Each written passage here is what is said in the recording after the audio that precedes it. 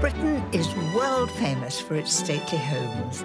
And when it comes to food, our country houses were the tastemakers. This week, I'm visiting Scone Palace, Scotland's crowning glory, where I get to feast and party like a royal. This is your invitation to dine at some of Britain's grandest tables